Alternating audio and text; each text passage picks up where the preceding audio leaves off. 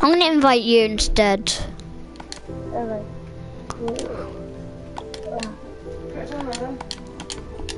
Why do you? Okay. This isn't fucking fair. Get off my bed. I'm making a bridge.